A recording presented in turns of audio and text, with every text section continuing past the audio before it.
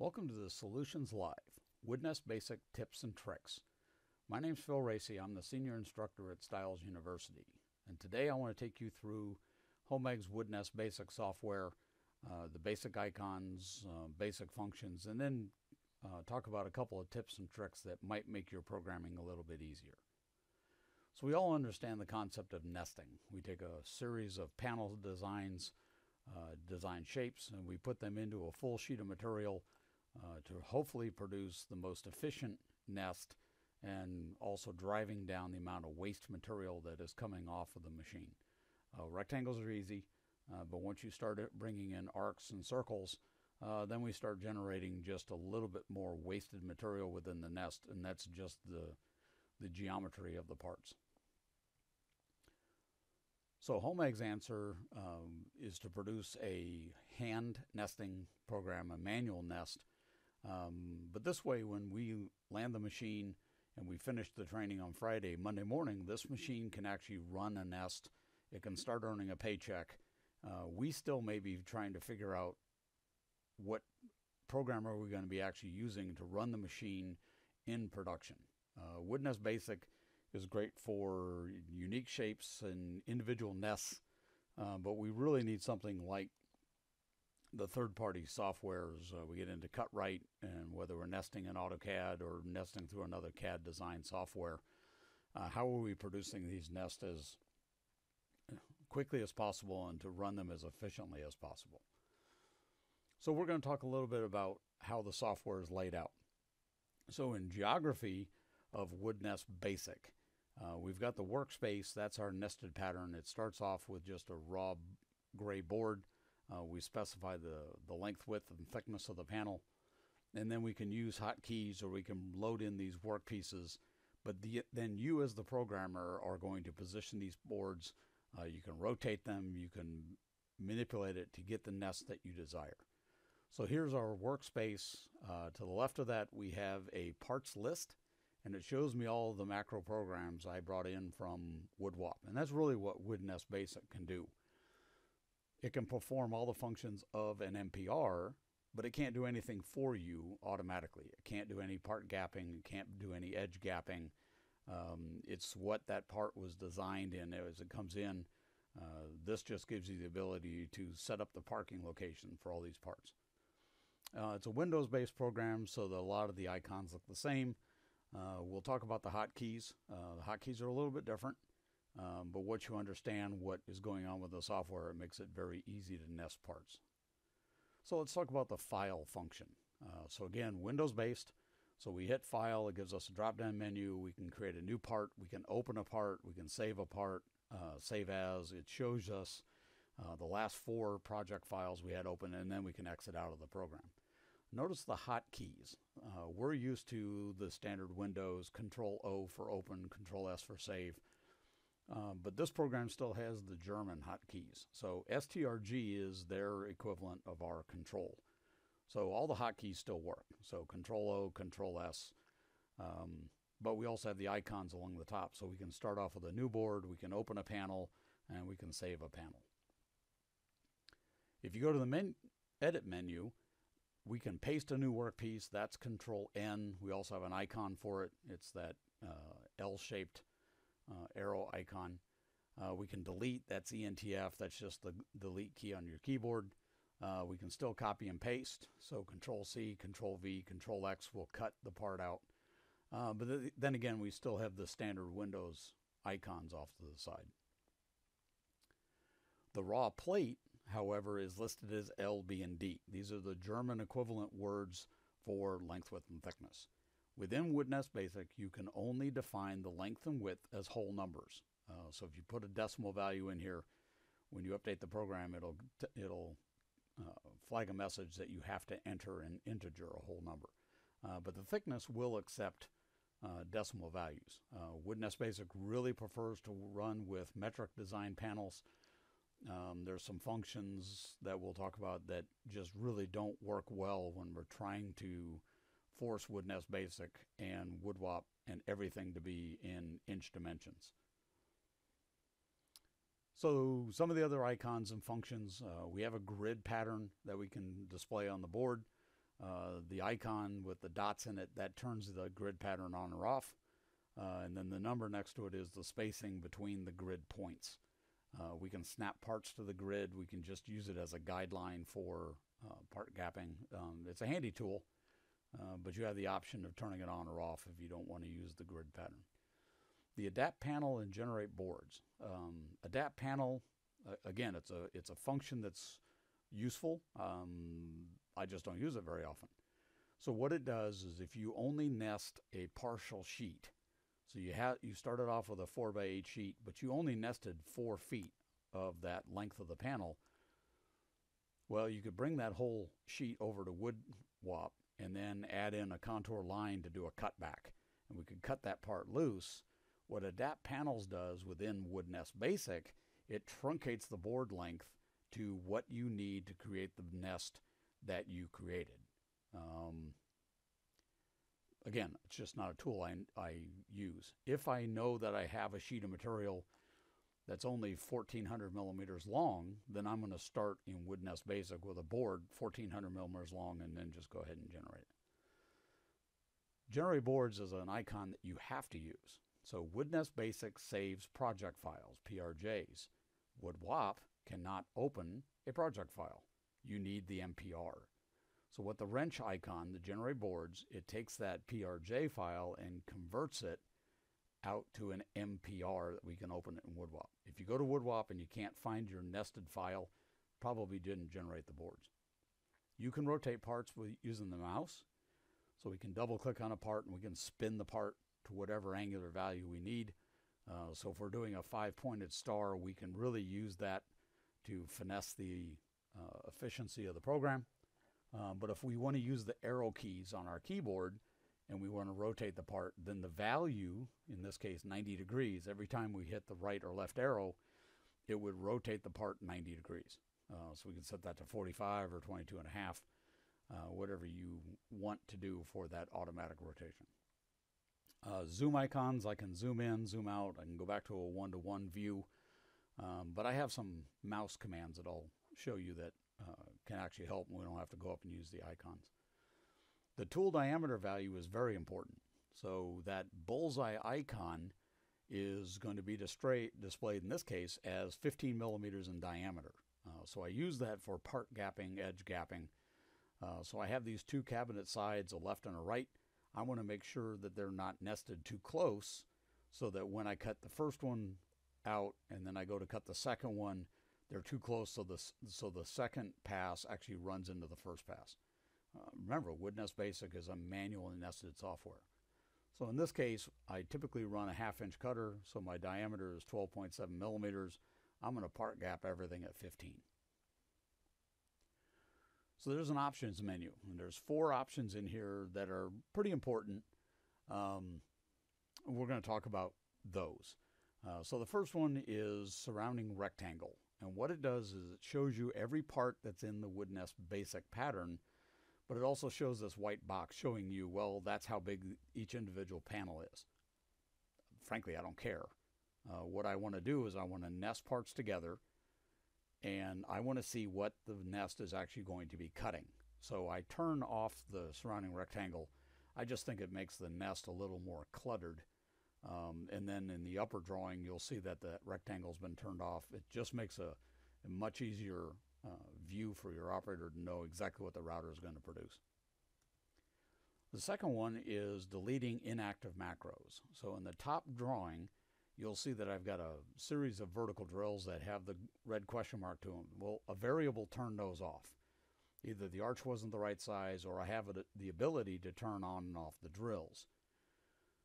So if I don't want those to be in the nest at all, and I want to make my production list a little bit easier to read and more simplistic, then I check this box and it says, okay, if you have an inactive macro, I'm going to get rid of that thing.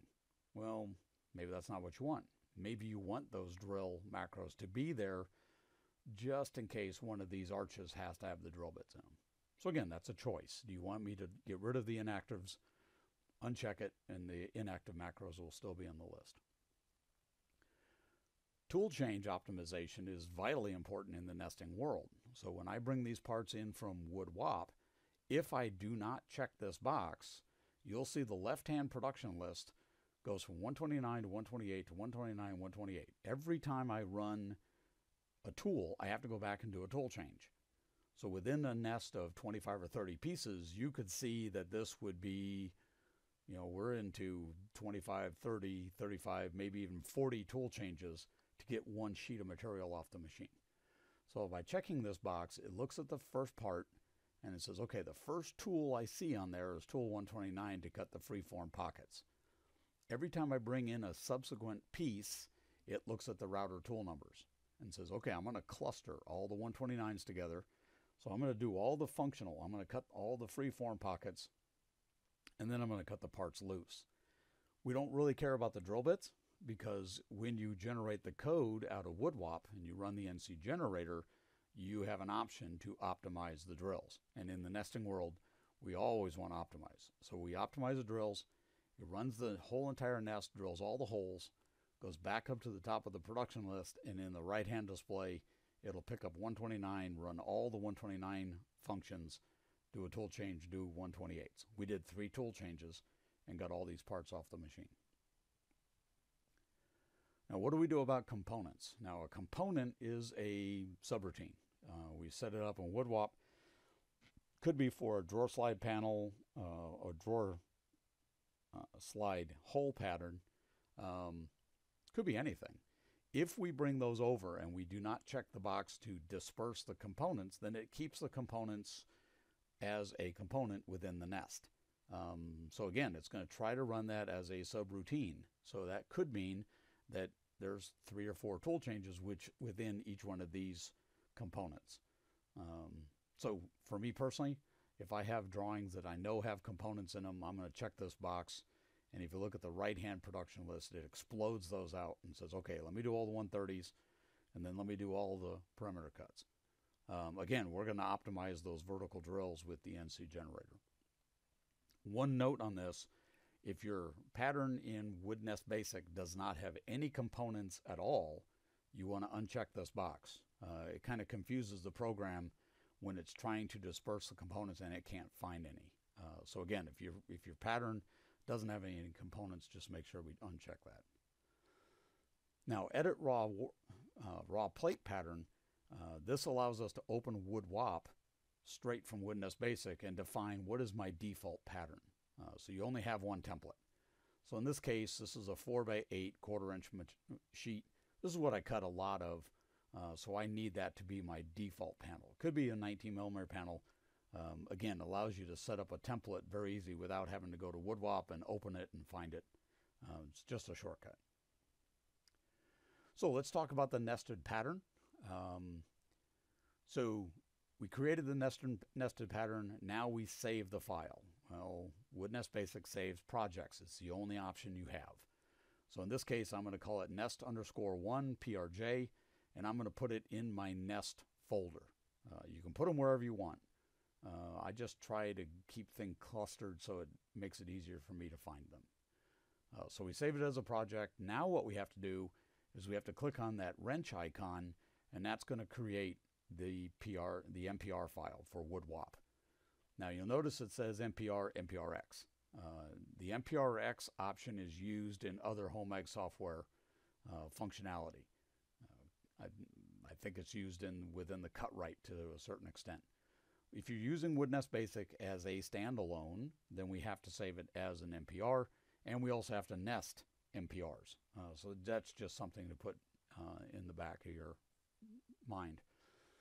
Now you'll notice when I initially save it, it comes in as nest underscore board, uh, nest underscore one, board one. Well, I don't need the board one. I can get rid of that if I want. Uh, so I can just remove that and you can call the program whatever you want. So it doesn't matter whether you're nesting for WoodWop 5.0. Uh, so here's an example of what the nest looks in 5.0. Uh, we can bring it into the latest version of WoodWop, WoodWop 7 point, whatever your version is, 7.1, 7.2. Uh, you'll notice that the nests look the same. But now we can make modifications to this. If we need to change a drill bit, if we need to change a router tool, we can do that here. Um, so it, this is just like we created the nest by hand in WoodNest Basic. Um, so let's talk about nesting programs. So I'm going to open up my WoodNest Basic program. Um, again, I'm defaulting it to a three quarter inch panel uh, or, and it's four by eight. So if I click on this wrench, it opens up a folder that has all my parts in it. Uh, so I'm going to open up this arch. It gives me a preview and then I click open. So I can click in the center of this piece and I can move it, just left click and drag, and I can put this part wherever I want. If I click on one of the corners, then that is how it's going to snap to the grid. So if I wanted to snap this part to a grid location, I can do that. What if I want to rotate this piece? So I double click. Now I get the arrows. So I can left click and I can spin this however I want. I can go back over to my part library and I can define the angle. So we're going to go to zero degrees. Or I can use the right left arrows. So under normal conditions, the right left arrows allow us to position the part up and down, left and right. But if I hit control right or left, now every time I hit the left keyboard or the right keyboard, it rotates based upon this angular value of 45 degrees. So again, I can come in and define what my angle is. Uh, now I need to re reposition it. So I double click, get the black window marks back in, and now I can drag that where I want. We can copy and paste. So Control C, Control V. Now I can move this piece where I need it. Again, looking at the part gap. So my tool right now is sized at 10 millimeters, uh, but I typically use a 12.7 or a half inch cutter, so I'm going to set this to 15 millimeters. I click on the bullseye, and now it will allow me to come in and position this bull bullseye between the parts, and I know that I've got enough room in here. Um, again, WoodNest Basic isn't going to do anything uh, automatically for you. If I click on the bullseye again, that red uh, tool image goes away. So again, we're going to make a paste a copy of it again. Copy paste. Then we're going to rotate this piece. Double click, control right arrow, double click, and I'm going to move.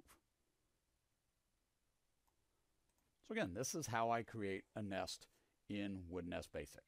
Um, couple other things we can do. If I hold the control button, I can highlight all three of these pieces and I can move them as a group and I can delete them as a group. WoodNest Basic does not have an undo. So if you delete something, it's not even going to ask you if you want to do that and you just vaporize those parts. Uh, control Z, nothing. Um, so again, I'm going to load that piece back in. So we'll load the arch. Now what I can do is I can go Control C, make a copy, and then paste, paste. So I have three pieces that are on the board. So I'll do double click and rotate. Double click. Now I can move them and position them where I need them. So we'll make a copy of this one. And we'll position this one here. Again, if I want to pull down that bullseye, click on it, I can very quickly determine that my parts aren't too close together. Remember, this is a wood nest. This is a manual nesting software. So if you do this, WoodWop, wood nest, nobody's going to care. Uh, it's not going to flag it as a collision error. This is how the nest is going to run. Um, so again, very quickly, I can create a nested pattern. Um, one thing I can't do, and I'll show you this, if I highlight all of these pieces, it would be really nice to be able to make a copy of that as a pattern and move it down. So here's what happens when you cluster all these pieces and then copy paste. I just got the right number of pieces, but it can't maintain that shape. So it dumps those four arches here in the center of my part. So now again, I can very quickly click and drag and move these where I need them. Maybe this would fit better this way. So again, just double click and I can start moving the pieces around. So the last thing I want to show you, I like that. Not really, but I like it. So uh, we need to save this as a project. So we go File, Save As. And again, I have parts for nesting, and we're just going to save this as nest2. Nest underscore 2. So that's a project file. What we need is we need to click on the wrench. It's going to come in as nest2 underscore board 1. Again, I don't need the board 1, so I'm going to get rid of it. And then we hit save. So it says it was saved in machine 4 control MP4 parts for nesting under nest 2. So let's go look at my extras under my options. So in this case, I didn't turn off the dispersed components. That might give me an issue. Um, so I want to take that one out. I want to optimize the tools. I don't worry about the inactive macros. So what this point I would do is I would just go File, Save and then I would regenerate the board the board for WoodWop. It's going to come up and tell you it already exists. Yeah, go ahead and replace it. So now we need to go to WoodWop, and we're going to go File, Open.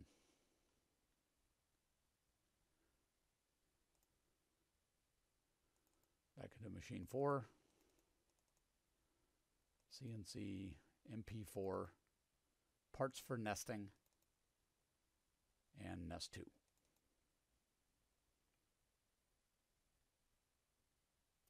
Here's my nested pattern. Uh, all my vertical router bits in here, it's, it's only a perimeter cut, so I'm not going to see uh, the nest pull out in tool optimization, um, but that's pretty straightforward. You'll notice that all my routing cuts uh, they're fairly close together. I got a little bit of waste in here, but that's mainly just because I threw a nest together. Um, we could generate the code, see what the program comes up with. So initially it tells me that macro number one is my workpiece. Macro number two had a problem with my tool number. Um, so I'm going to change my machine number within my computer So now let's go back and regenerate the program. So what you have to be careful of is if your facility has multiple flat table machines and you have a programmer that is sending these parts down to the machines, it would be very advantageous to make sure that all of the tool numbers match within the nesting machines. Uh, so all the HOMAG machines, whether it's a large N500 Nestabase machine, maybe it's a smaller compact machine. I want those tool databases to be the same, so that's going to eliminate or greatly reduce the potential I'm going to come up with a tool that doesn't exist on a machine. Um, so in my nesting worlds, a 128 is a half inch cutter no matter which machine it's on. So in this case, this program is ready to run. Um, I could run it through the simulation, um, just send it down to the floor and run that part. So little tips and tricks. Remember the STRG, that's just control. All the hotkeys work. Uh, you can left click and drag. If I go back to my WoodNest Basic program, remember if I double click, now I can rotate the part. I can pull open the parts list. I can define the very the number here. I also have the ability to mirror a part. So within this nest, I can bring in a cabinet part. So here's a cabinet side. So we can move it as long as we have the black dots in the corner. Now what I do is I copy and paste, move that one here. The problem is I have two right-hand cabinet sides. So I could either draw a right and a left in WoodWop and bring them in, or in this case, I could open the second cabinet side and just tell it to mirror it in the Y dimension. So now I have a left and a right. So not only can I move the parts rotate the parts. Um, I can select all the parts and move them as a cluster to a new location. Remember, if you copy and paste that cluster of parts, it's going to give you a stack of all those parts in the right copy. You're just uh, you're just going to have to move them on your own. So hopefully this helps. Um, it's a very simple, easy program to run. uh, but you as a programmer just have to pay attention to part gapping and edge gapping.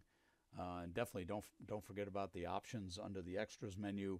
Uh, the big one is tool changes. Uh, we definitely need to optimize the tool changes so that we can drive the number of times we go back to the tool changer to the minimum and really start pushing these boards out. So if you if you have any additional questions, uh, feel free to contact me at Stiles University or any of our CNC uh, faculty members. Uh, we'll definitely uh, jump out there and help you with whatever issues you're having with the programming side. Thank you.